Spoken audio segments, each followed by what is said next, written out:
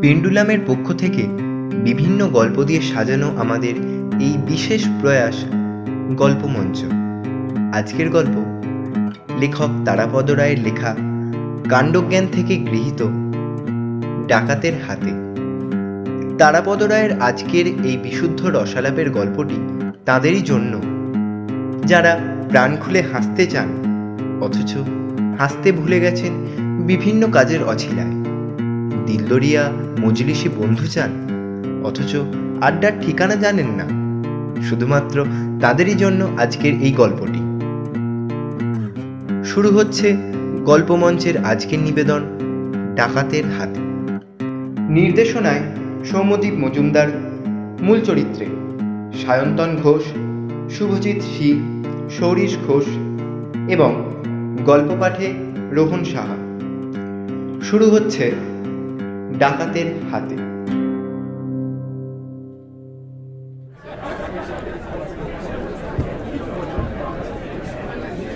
এতক্ষণ ভদ্রলোককে কেউই লক্ষ্য করেনি। ভদ্রলোক মেঝের এক প্রান্তে দেয়াল ঘেঁষে গালে হাত দিয়ে বসেছিলেন। ঘরময় দুরন্ত উত্তেজনা ও বিশৃঙ্খলা।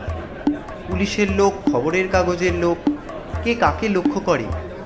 একটু আগে বাজারের পিছনে ব্যাংকের এই একতলার ঘরে ডাকাতি হয়ে গেছে। পুলিশের কর্তারা ব্যাংকের এজেন্ট ও ক্যাশিয়ারের কাছ থেকে ডাকাতির বিবরণ ও অপহৃত অর্থের পরিমাণ জেনে নিচ্ছিলেন। স্থানীয় থানার ছোট দারোগাবাবু তার কালো নোটবুকে টুকে নিচ্ছিলেন। তাহলে একশো টাকার নোটের বান্ডিল সাতাশশো পঞ্চাশ টাকার নোটের বান্ডিল, সতেরো। আর কুড়ি টাকার নোটের বান্ডিল। এমন সময় ভদ্রলোক হঠাৎ ঘরের অন্য প্রান্ত থেকে উঠে এসে দারোগাবাবুর সামনে কীরকম যেন হাঁটু মুড়ে আধা ত্রিভঙ্গ ভঙ্গিতে দাঁড়ালেন। ভদ্রলোকের ঊর্ধ্বাঙ্গে একটি হ্যান্ডলুমের ঘন গেরুয়া রঙের পাঞ্জাবি। পাঞ্জাবিটির ঝুল বেশ লম্বা এবং তাই রক্ষা, কারণ তার নিম্নাঙ্গ সম্পূর্ণ শূন্য। কোনো কাপড় চোপড় নেই। পাঞ্জাবির কাপড় বেশ মোটা বলে পাঞ্জাবির তলায় কোমরের নিচে কিছু আছে কিনা বোঝা যাচ্ছে না। ভদ্রলোককে লক্ষ্য করা মাত্র তাড়াতাড়ি পুলিশকে দেখিয়ে ব্যাংকের এজেন্ট সঙ্গে সঙ্গে চেঁচিয়ে উঠলেন। এই তো যার কথা বলছিলাম। এই যে। ভদ্রলোকের আশ্চর্য পোশাক এবং বিহ্বল চেহারা আর তার সঙ্গে এজেন্ট সাহেবের উত্তেজনা দেখে পুলিশের এক কর্তা যিনি কাউন্টারে হেলান দিয়ে এতক্ষণ কাউন্টার টিপে টিপে কতটা শক্ত পরীক্ষা করে দেখছিলেন তিনি মুহূর্তে বুঝে ফেললেন এই ব্যক্তি অবশ্যই ডাকাতদের একজন। তিনি চাপা গলায় নির্দেশ দিলেন। Arrest him. সঙ্গে সঙ্গে দুজন সেপাই দুদিক থেকে ছুটে এলো। কিন্তু এরই মধ্যে এজেন্ট ক্যাশিয়ার সবাই হা হা করে উঠলেন। আরে আরে করেন কি? উনি ডাকাত নন। উনি ডাকাত না? তাহলে উনি কে? পুলিশের ছোট সাহেব গর্জে উঠলেন। উনি মিস্টার ছকু চৌধুরী বাঁশের ব্যবসায়ী আমাদের ক্লায়েন্ট ব্যাংকের তরফে এই উত্তরে চমকিত হয়ে পুলিশেরা একটু নিরস্ত হলেন। শুধু ছোট সাহেব জিজ্ঞাসা করলেন আপনাদের ব্যাংকের ক্লায়েন্টরা আজকাল এরকম পোশাক পরে আসেন নাকি? ছোকো চৌধুরী এতক্ষণে হাত জোর করে পুলিশ সাহেবের সামনে এসে দাঁড়িয়েছেন। ঠিক দাঁড়িয়েছেন বলা যায় না। পা দুটো হাঁটুর কাছে ত্রিভুজের মতো ভাঁজ করে পাঞ্জাবির ঝুল দ্বারা যতটা লজ্জা নিবারণ করা সম্ভব তার চেষ্টা করে যাচ্ছে। পিছনে থানার জমাদার সাহেব রুল হাতে দাঁড়িয়েছিলেন। তার উপরওয়ালাদের সম্মুখে এই অর্ধলগ্ন ব্যক্তিটির দাঁড়ানোর ভঙ্গির এই বেয়াদপি তার পক্ষে সহ্য করা অসম্ভব। জমাদার রুল উঁচিয়ে বললেন ওই সিধা হয়ে যাও সোজা দাঁড়াও। জমাদারের আদেশ পেয়ে ছকু চৌধুরী কাকুতি মিনতি করতে লাগলেন। না স্যার।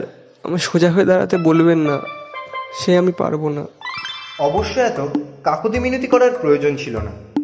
প্রায় সবাই ইতিমধ্যে বুঝতে পেরেছিলেন, ছকু চৌধুরী এতক্ষণ যে কারণে মেঝেতে বসেছিলেন, এখন সেই কারণেই বাঁকা হয়ে দাঁড়িয়ে আছে। লজ্জা নিবারণ ছাড়া তার আর কোনো উদ্দেশ্য নেই। সদ্য ডাকাতি হওয়া ঘরের আবহাওয়া আগেই থমথমে ছিল। এরপরে আরও থমথমে হয়ে উঠল। সবাই চুপচাপ। অবশেষে পুলিশের ছোট সাহেব নীরবতা ভাঙলেন আপনি ডাকাত নন। সে ঠিক আছে। কিন্তু আপনি শুধু পাঞ্জাবি পরে ব্যাংকে এসছেন কেন বলুন তো? ভদ্র সমাজে যাতায়াত নেই আপনার? ছকু চৌধুরী থরথর করে কাঁপতে কাঁপতে বললেন না স্যার আমার লুঙ্গি। সঙ্গে সঙ্গে ছকুবাবুর অর্ধসমাপ্ত বাক্যটি ব্যাংকের এজেন্ট সাহেব অনুমোদন করলেন। হ্যাঁ ছকুবাবুর লুঙ্গি ডাকাতের তদন্তের মধ্যে এই রকম একটি সামান্য লুঙ্গির প্রসঙ্গ আসায় পুলিশের লোকেরা খুব চটে উঠলেন। ছোট সাহেব আবার ধমকে উঠলেন। কিসের লুঙ্গি? এসব কি ইয়ার্কি হচ্ছে? এবার ছকুবাবু একেবারে মুশড়িয়ে পড়লেন। স্যার আমার লুঙ্গিটা ডাকাতেরা কেড়ে নিয়ে গেছে। পুলিশ সাহেবদের অবাক হবার পালা। লুঙ্গি ডাকাতেরা কেড়ে নিয়ে গেল? সোনার সুতো দিয়ে বোনা? নাকি বেনারসি লুঙ্গি? ডাকাতদেরও কি আজকাল কাণ্ডজ্ঞান লোপ পেল নাকি? ব্যাংকের ক্যাশিয়ার বাবু ব্যাখ্যা করে বললেন না ঠিক তা নয়। ডাকাতদের টাকা বেশি হয়ে গিয়েছিল। তারা বোধহয় আশা করেনি যে এত টাকা পাবে। দুটো মাত্র বড় বড় বাজারের থলে এনেছিল। সে দুটো পুরোপুরি ভরে গেলে তখন কি আর করবে? সামনের কাউন্টারে ছকুবাবু টাকা জমা দিতে এসেছিলেন? ওকে দুজনে মিলে জাপটিয়ে ধরে ওর লুঙ্গিটা খুলে নিয়ে বাকি টাকা বস্তার মতো করে বেঁধে ফেলল। পুলিশ সাহেব হতবাক। বলেন কি মশাই লুঙ্গিটা খুলে নিল? ছকুবাবুর পক্ষ সমর্থন করে ক্যাশিয়ার বাবু বললেন ছকুবাবু খুব ভালো লোক স্যার। আমাদের পুরনো কাস্টমার প্রথমে উনি কেন আমরা কেউই ধরতে পারিনি? ডাকাতেরা কেন ওর উপর ঝাঁপিয়ে পড়ল?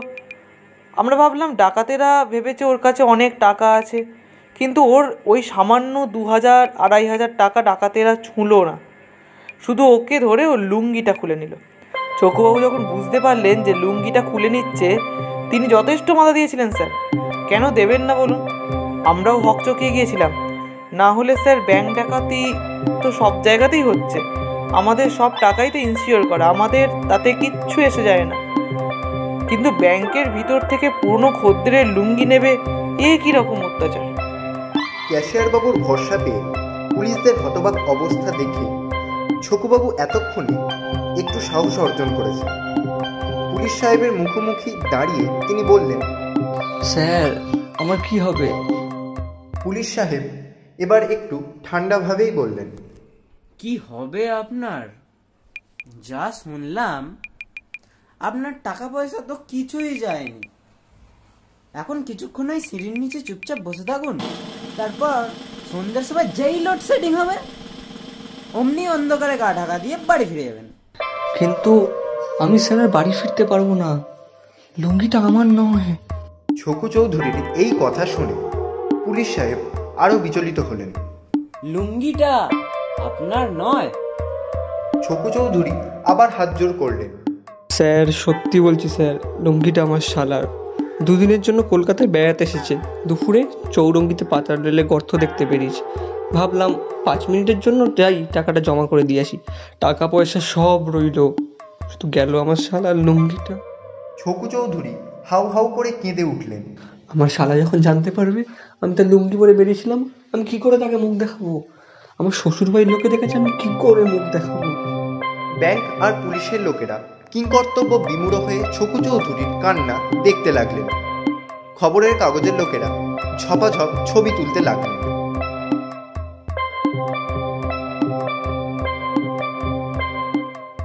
গল্পমঞ্চে আজ শুনলেন তারাপদ রায়ের লেখা ডাকাতের হাতে গল্পটি। ছকু চৌধুরীর ভূমিকায় সায়ন্তন ঘোষ, পুলিশি দারোগার ভূমিকায় সৌরিশ ঘোষ, ব্যাংকের ম্যানেজার শুভজিৎ শীল সূত্রধর রোহন সাহা। নির্দেশনায় সৌমদীপ মজুমদার, আবহধ্বনি স্বর্ণেন্দু তোষ, শব্দ সম্পাদনায় মৈনাক সাহা এবং প্রচ্ছদ নির্মাণে দেবোত্তম ঘোষ। আমরা আবার ফিরছি। আগামী সপ্তাহে আরেকটি গল্প নিয়ে।